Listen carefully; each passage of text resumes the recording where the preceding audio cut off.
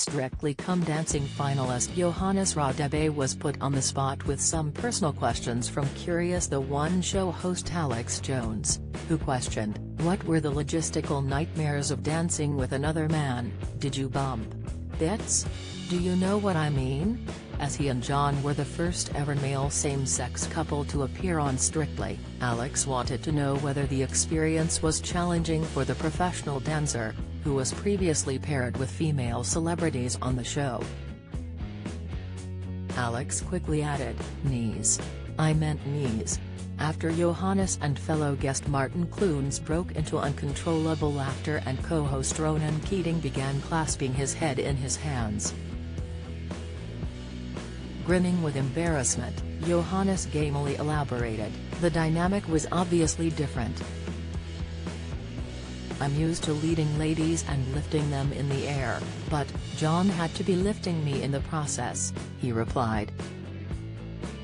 That was tricky, but the man's patience, the way he allowed me to figure it out and still teach him in the process, I find that incredible. I had the most amazing season and I fell in love with my art form again. Reliving how his relationship with dance began, Johannes modestly insisted that his success was a mere fluke. Everyone used to play soccer and rugby, he explained of his native town in South Africa. Dance is just a fluke because everyone can dance where I'm from. But when I came to ballroom dancing, I just loved the sparkles. After seeing the dramatic costumes, Johannes knew he wanted to make an equally dazzling entrance, and realized he had the chance to achieve glamour through perfecting his craft. After hailing from a poor township, now that his dream has come true, he has an ambition to teach a new generation of South Africans to strive for the same goals. I would like to tour in South Africa to inspire a generation of kids who look up to me. They lack role models in the community, he explained.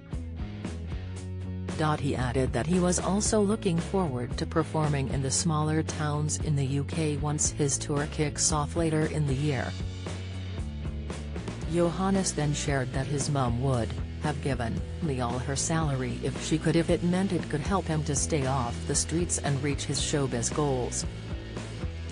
Meanwhile, after the topic turned to ice baths and cold water swimming, Johannes revealed that he was a fan for health-boosting reasons. Poor Ronan Keating, on the other hand, who was uninitiated in the tradition until the filming of the show, was captured on camera shivering desperately in an ice bath while answering a quiz question incorrectly. Johannes may well continue braving the cold water as he prepares for his forthcoming tour. His favorite outfit from Strictly was his Pirates of the Caribbean costume. The costume is one that audiences will get to see again during his tour performances. Johannes Radebe, the Freedom Tour kicks off in March 2022.